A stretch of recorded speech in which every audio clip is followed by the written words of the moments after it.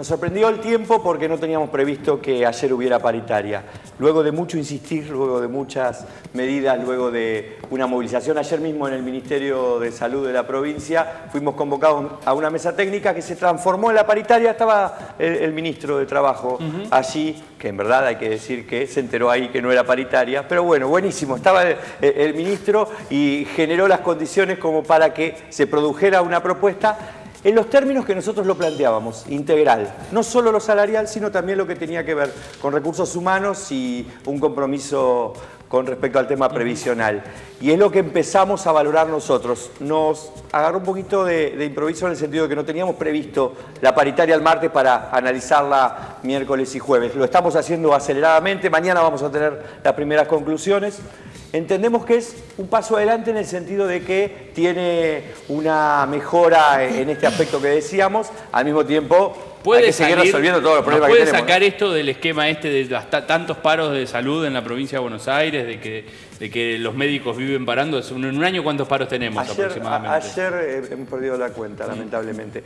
Eh, ayer le decíamos al ministro de Trabajo, en un momento también al de Economía, la verdad, estamos desde hace dos o tres semanas de medida de fuerza porque no hicieron lo mínimo que había que hacer para salir de esto. Hay una responsabilidad concreta del Ministerio de Salud en formular una propuesta de pase a planta, que bueno, finalmente en buena parte lo hizo ayer. Fernando, pero la verdad, más allá, de, más allá de la cuestión puntual de este tema, ¿Cuál es la valoración que hace de, la gestión de la ministra en lo que se refiere a la gestión más allá del trato con los trabajadores? ¿no? La, ah, ministra, la de salud. La de salud. Ella viene de un ámbito no político, viene del ámbito académico, viene de, su tarea en UNICEF, muy destacada, por, por cierto, y tiene un nombre eh, en, el ámbito académico, sanitario, muy respetable y muy importante. Eh, eh, costó mucho conformar los los planteles de funcionarios. De hecho, hay, varios de los lugares más importantes.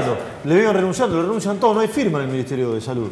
Sí, hay, ha habido muchas dificultades en definir un equipo que lleve adelante la política. Muchas veces nos ha pasado que no teníamos interlocutor válido desde el punto de vista político. Nosotros observamos muchas dificultades. Esta manifestación que yo hacía de hace dos semanas que estamos de paro, cuando seguramente debiera haber sido resuelto, es responsabilidad. Fernando no cuente la realidad de los hospitales, porque ahí es donde pasa, o no pasa porque hay médicos que no lo hacen. Lo que no puede decidir la iglesia es lo que hace cada mujer ante una situación como, como la que estamos comentando.